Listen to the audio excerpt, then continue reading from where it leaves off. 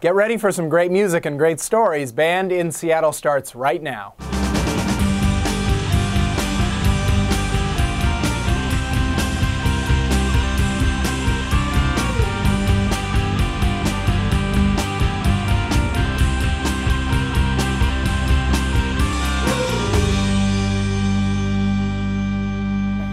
Welcome to Band in Seattle. I'm Xander Denke, and with me is David Michael Stedman, songwriter, music editor, and lead singer of the band the Stax Brothers, to talk about tonight's band, Sundries. From the moment I laid my ears on the Sundries frontwoman Sadie Franks, she had me. Girl sounds like Jeff Buckley who slid on the tape and gave it a big old shake. Then when I saw her, Xander, I was done for. She's a beautiful woman, beating out a yellow Telecaster like Bruce Springsteen back when he used to rock a beanie. Sadie doesn't have that thing, she has it in spades. Ace of Spades. Rest in peace, Lemmy. We'll be right back with Sundries.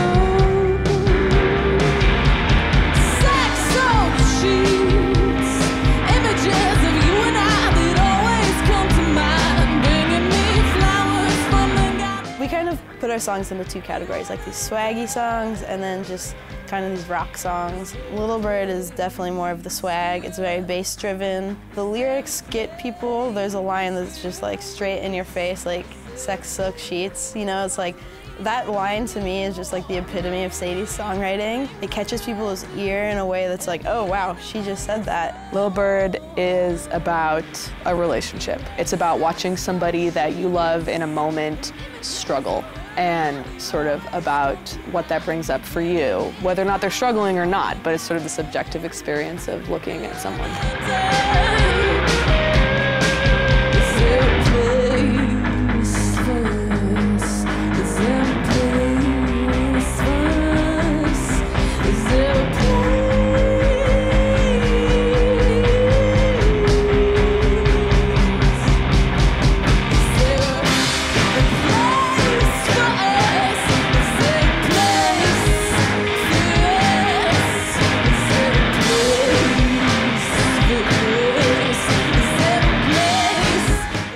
Name's Leah, and I play drums for the band Sundries. When I'm not playing drums, you can find me playing bass for Thunderpussy. Hey, I'm Ben. When I'm not playing bass in Sundries, I am behind the camera shooting photos.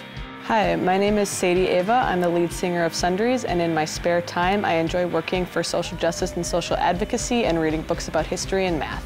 Hi, I'm Travis Gillette, and I'm the guitar player for Sundries, and you're watching Band in Seattle.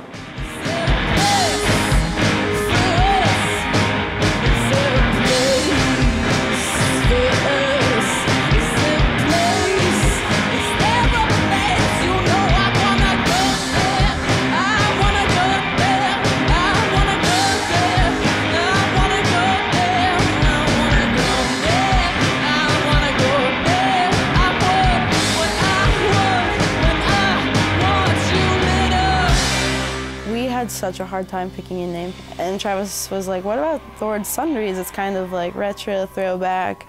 You know, it's very eclectic, which at that point, like we couldn't really pinpoint a genre for our band. We still can't. I was watching The Outsiders, that movie, and on, on the marquee in front of, you know, like this old-timey store, it said Sundries on it. I was like, that's kind of a badass word. And then it just sort of stuck.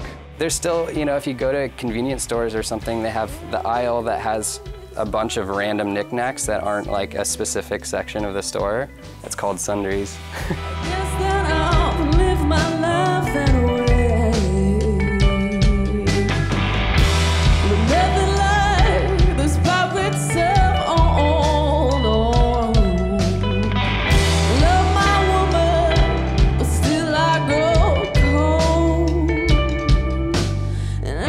Chicks number one comes from a time when we were naming all of our songs after chicks that I had been dating. I was taking an art history class at the time. So the first verse, the first one that comes to mind is uh, the line, well, the Greeks wrote about altered states, and I guess that I've lived my life that way. It's learning about Greek pottery and how they sort of explored their love of wine through pottery.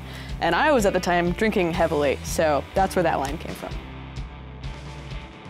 A lot of the times I'll bring a song to practice or a riff and we'll just jam on it, you know, or Leah will do the same on a guitar thing, or Travis and Ben will. Um, I'm primarily the one who's responsible for the melodies and the lyrics. You know, the backing music comes from all of us. We've gotten to the point now where we have this joke that we could be like whatever, the best cover band, the best wedding band ever, because any of us can just be like, okay, now we're gonna play like salsa music, and we'll play salsa music. So we're really comfortable with each other, which enables songwriting to just flow really easily.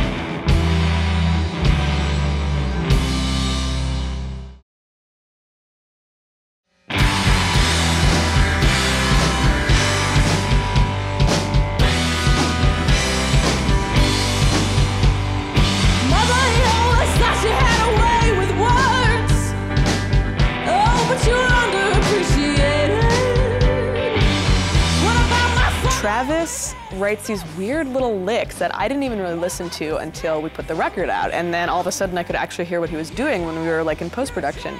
And he's influenced by a lot of different things. And he's, you know, an incredibly well-educated musician in terms of what he listens to musically. And I think that really comes through in his guitar playing. Um, and we've developed this really awesome guitar relationship, which is really special to me. Um, and he also has a really cool truck and a couple of really cute dogs, so he's, he's doing well. I hate performing live. In normal life, I'm a photographer, so I'm always on the other side of the lens, and for this, you know, this sort of stuff's really awkward for me. But I like being on the side with these guys.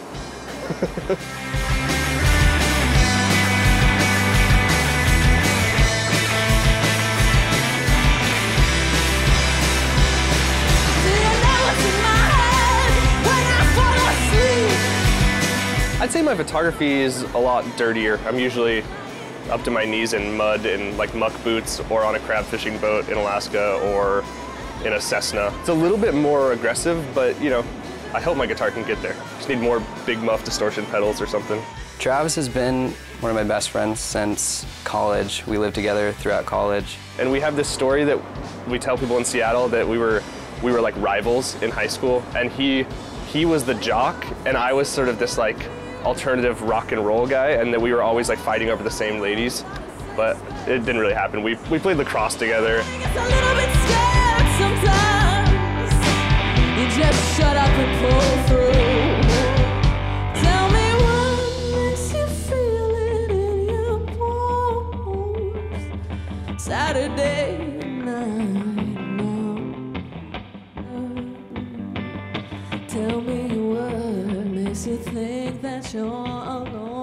A bass player and I would never write like Ben does and I love his bass lines. He writes very like melodic, almost like lead lines on the bass, which I really like. So I think Ben is an incredible bass player and a great asset, um, and probably undervalued, you know, because he's kind of like the quiet guy, but he's, you know, one of my best friends and a great, great naturally talented bass player.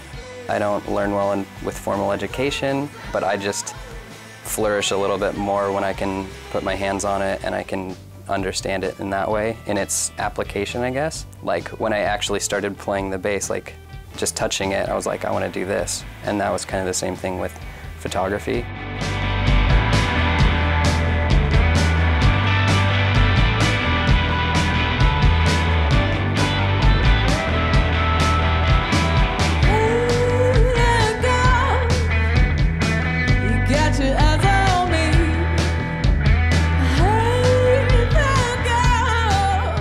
Sadie's one of the most kind of inspiring, you know, actual artists that I've ever met. And she's just crazy well read and wanted to be a mathematician and now she's, a, you know, works at a law firm. Well, I always wrote poetry. In my high school, we were working with a lot of poetry and working with creative writing. So that just became sort of a natural conduit for that. And the voice just flowed from it. I'm not, I'm not really sure. I listened to a lot of Alanis Morissette when I was a kid, so maybe that was a factor. There's like a story that my mother will tell where I was unexpectedly the MC of a middle school open mic in which I just like casually took the stage and then proceeded to MC the whole thing with nobody knowing that or being aware of that or I don't remember that. But that was sort of the moment when I think I realized that, oh, I really love being in front of people. I really get a lot of energy from it. Well, Sadie is one of my very best friends in the entire world. I love playing music with Sadie. It's, it's just one of those things that, you know, we grew up across the country from each other. We didn't meet until I was in my mid 20s, but it just feels like we grew up together. We've been playing music together forever.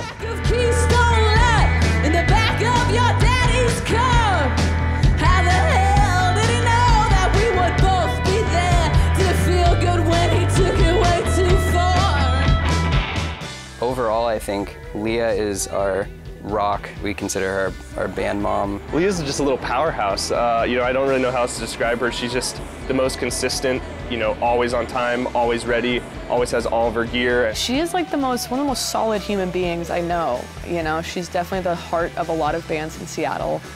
You you know, not to like name check bands in Seattle, but she's in multiple bands in Seattle, and she definitely is like a rooted core member of this community, which I think is irreplaceable. I put music aside for a lot of years. I went to college, I got a degree in political science, and I like worked on campaigns, and it just kept nagging at me, like, you have to do this in some capacity. So when we started Sundries, the bug just swept back in, and then I was like, I just want to play music as much as I possibly can.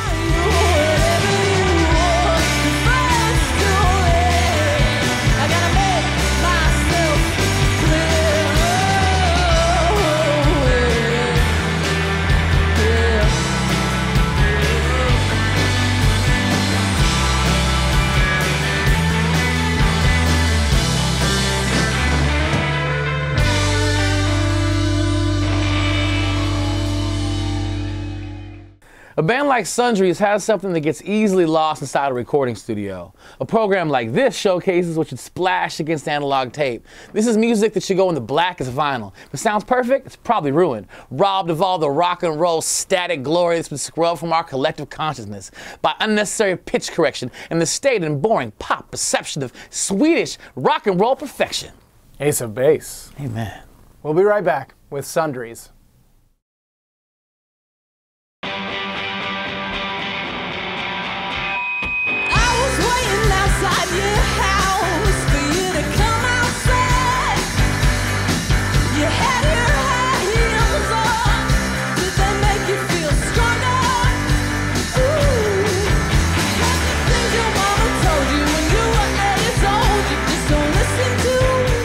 Pressure is about the first woman that ever broke my heart when I was in high school.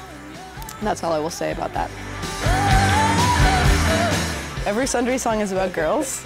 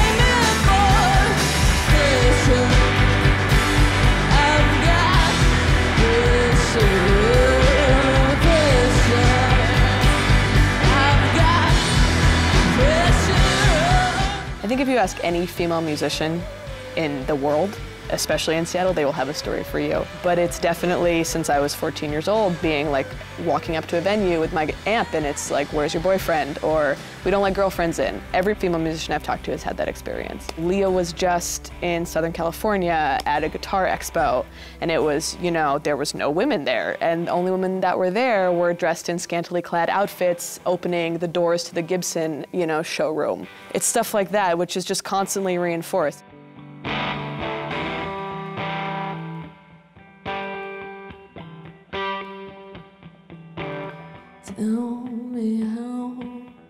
Even if they acknowledge that you are a musician, you're part of the band, they think that you don't know anything about your gear or you can't carry anything. You know, I've had sound guys try and tell me what's inside my bass head, and they'll be like, oh, that's a whatever transformer. And I'm like, no, it's actually like four tube, like I know, you know, I know about my gear. That's actually one funny thing in Sundries is Ben uses a lot of my bass gear, and so people are always like coming up to him thinking he's gonna be like the gearhead, and they're like, oh, can you explain this to me? And then he's like, oh, Leah, what's in here?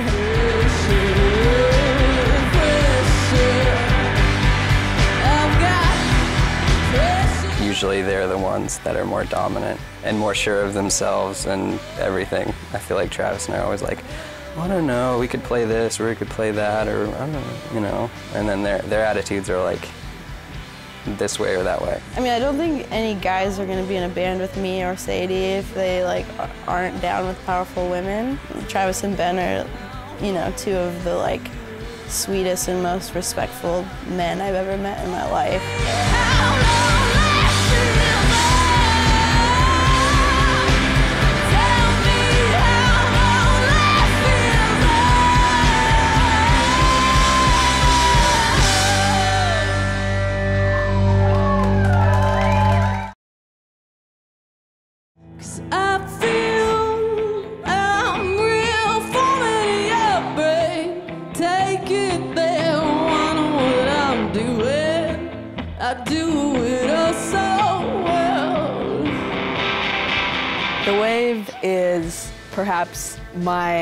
Favorite song. That song is about being really lonely surrounded by tons of people and how weird that is and how nightlife and going out to clubs is really bizarre. I think the wave is cool because it goes back and forth between these kind of like dynamic rhythmic parts in the verses, and then the choruses are just straightforward rock. I'm not even sure how that started, but I'm pretty sure it was one of those songs that we wrote in like two practices. It's just a rocker, and I love just thumping along because that's pretty much all I do, but it's still really fun. The best part to me is I finally get like a little bit of a lead line. Um, I sort of get to start the song off with this weird like Sonic Youth style little guitar part, or at least I would like to say so. The wave offers a lot of what Sundries offers as a whole, but all kind of condensed into one song.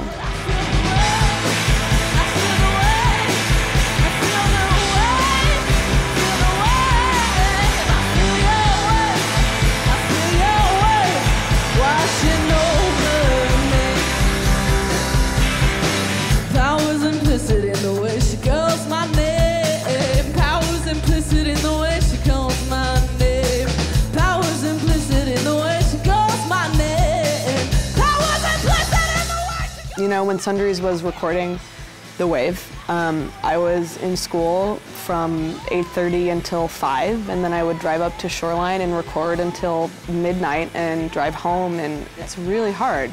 The rewarding aspects of it feed your, your soul in one way, and the other part does too. And I'm a firm believer in driving yourself as hard as you possibly can to get what you want out of life.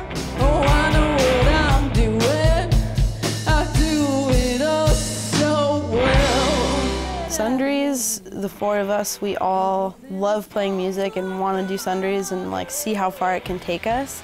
But everyone in the band also has something else going for them in some way. You know, like for me, like yes, I do a lot, but like I want music to be my career. Hopefully, one day, maybe.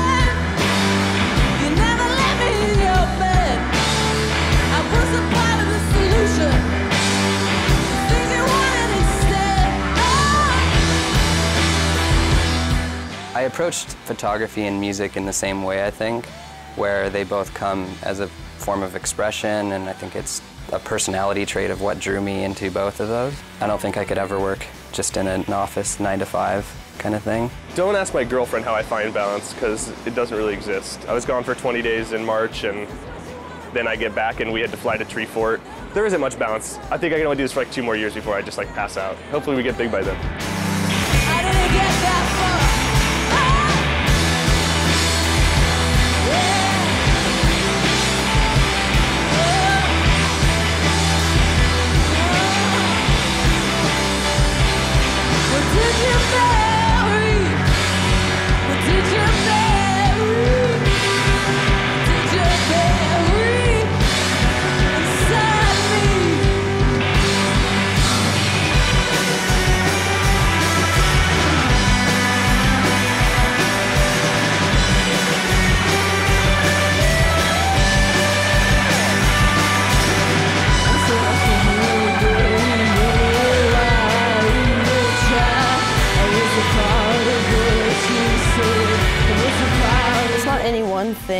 It's it's every part of being in a band. I love being in a band with people who I love and respect and who love and respect me. We all just support each other in a way that's like deeper than a normal friendship.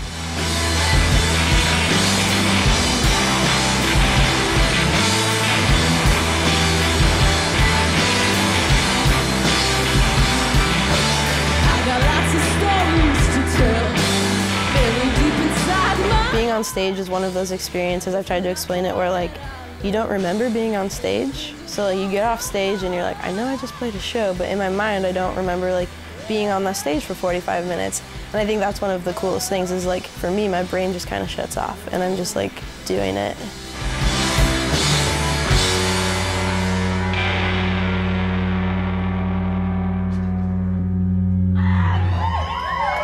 Thank you very much for Sundries.